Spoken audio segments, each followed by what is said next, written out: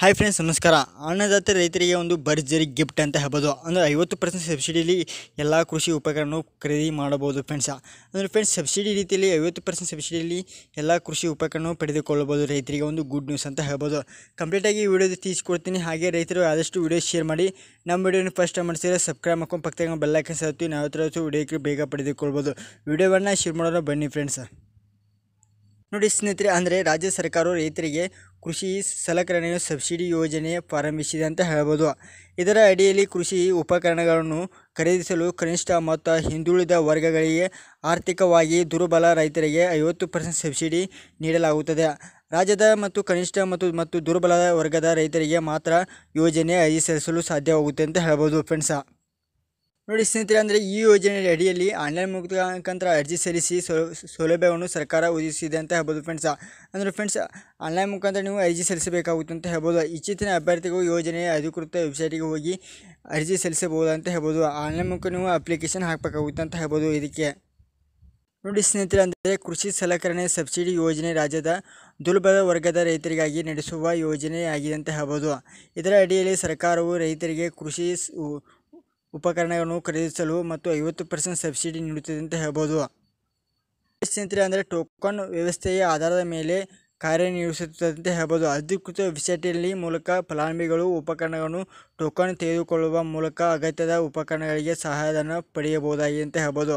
ಈ ಯೋಜನೆಯಲ್ಲಿ ರೈತರಿಗೆ ಆರ್ಥಿಕ ಸ್ಥಿತಿಯನ್ನು ಸುಧಾರಿಸುತ್ತಿದೆ ಅಂತ ಹೇಳ್ಬೋದು. ಅಂದರೆ ಐವತ್ತು ಪರ್ಸೆಂಟ್ ಸಬ್ಸಿಡಿ ಮೂಲಕ ನೀವು ಕೃಷಿ ಉಪಕರಣವು ಪಡೆದುಕೊಳ್ಳಬಹುದಾಗಿದೆ ಅಂತ ಹೇಳ್ಬೋದು.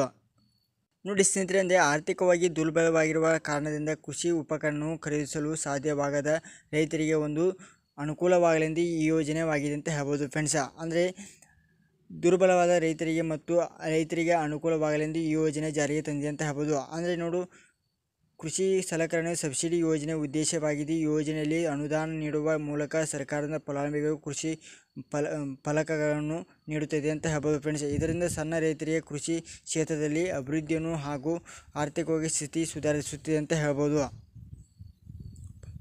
ಸ್ನೇಹಿತರೆಂದರೆ ರಾಜ್ಯದ ಸ್ಥಳೀಯರು ಮಾತ್ರ ಕೃಷಿ ಸಲಕರಣೆ ಸಬ್ಸಿಡಿ ಯೋಜನೆಯ ಅರ್ಜಿ ಸಲ್ಲಿಸಲು ಸಾಧ್ಯವಾಗುತ್ತಿದೆ ಅಂತ ಹೇಳ್ಬೋದು. ಅಂದರೆ ಈ ಯೋಜನೆಯಲ್ಲಿ ಶಿಷ್ಟವಾಗಿ ಕನಿಷ್ಠ ಮತ್ತು ಹಿಂದುಳಿದ ವರ್ಗಗಳಿಗೆ ಸೇರಿದಂಥ ರೈತರಿಗಾಗಿ ಪ್ರಾರಂಭಿಸಲಾಗಿದೆ ಅಂತ ಹೇಳ್ಬೋದು ಫ್ರೆಂಡ್ಸ ಹಿಂದುಳಿದ ವರ್ಗ ಮಾತ್ರ ಇದು ಅರ್ಜಿ ಸಲ್ಲಿಸಲು ಅನುಕೂಲ ಸೇರಿದೆ ಸೇರಿದಂತೆ ಹೇಳ್ಬೋದು ಫ್ರೆಂಡ್ಸ್ ಅವರು ಮಾತ್ರ ಇದಕ್ಕೆ ಅರ್ಜಿ ಸಲ್ಲಿಸಬಹುದಾಗಿದೆ ಅಂತ ಹೇಳ್ಬೋದು. ಯೋಜನೆಯಲ್ಲಿ ಫಲಾನುಭವಿಗಳು, ರೈತರು ಶೇಕಡ ಐವತ್ತರಷ್ಟು ಸಬ್ಸಿಡಿಯನ್ನು ಕೃಷಿ ಉಪಕರಣ ಖರೀದಿಸಲು ಇದರಿಂದ ಆರ್ಥಿಕವಾಗಿ ಸಹಾಯವಾಗುತ್ತೆ ಅಂತ ಹೇಳ್ಬೋದು ಫ್ರೆಂಡ್ಸ್ ಅಂದರೆ ಐವತ್ತು ಪರ್ಸೆಂಟ್ ಸಬ್ಸಿಡಿ ಸಿಗುತ್ತೆ ಅಂತ ಹೇಳ್ಬೋದು.